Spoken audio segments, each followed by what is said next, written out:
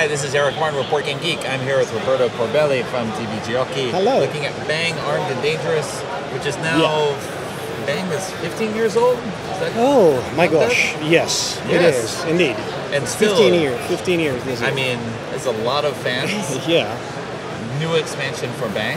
What, Just what released. added this time? More characters, of course. Yeah, as usual, more characters. Some of those are, are um, can be used with uh, um, just like the, the best games. Some of them interact with this new mechanic, which is contained in, in this expansion, and uh, which is the dangerous cards. Okay. So the cards are have this orange border, Mm-hmm. and they behave uh, pretty much like the blue cards. So you put uh, there are just objects and other stuff. You put them in front of you.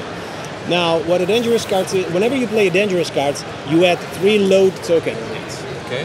Okay, and uh, in order to use it, you have to pay the token uh, um, described here, and you get the effect. For Okay. example, the crate. You can use the crate by spending two tokens to get a Missed, or uh, you can use the ace up the uh, up your up the sleeve by paying two tokens to draw one card, Okay. and so forth. but But we're gonna have only right, one use, and Right. then it's it's exactly. Yes. Um, so first of all, let me say that whenever a card um, is runs out of tokens, you discard it. okay. But how can you add them then? Okay, whenever you play a blue bordered card, you will add one token to the to the card or to your character. Okay. Uh, whenever you uh, have to discard excess card at the end of the um, phase, um, at the end of your turn, like uh, if you have, for example, two life points only and you have four cards, you are forced to discard two cards. Okay. Then you can have, in this case, specific case, two. So one one token per card you have to discard to any of your card or to your character. Okay. Um, Yeah. It kind of balances things out a little That's bit. right. It's a little like sorry got hit, but But but you you have more Okay. tokens to spend, and Okay. uh, and some of these cards are, are, are really powerful. Uh, for example, you know here we have a Thunderer, it's a gun, and whenever you shoot a bang to a, to a player, you can discard one token in this case to get the bang back. okay. So you can reshoot it again or some other.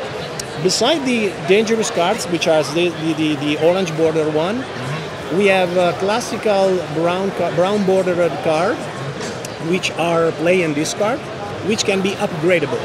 Okay. So whenever you play them, like uh, in this case, uh, you would play. Oh, let, let's take a little nip.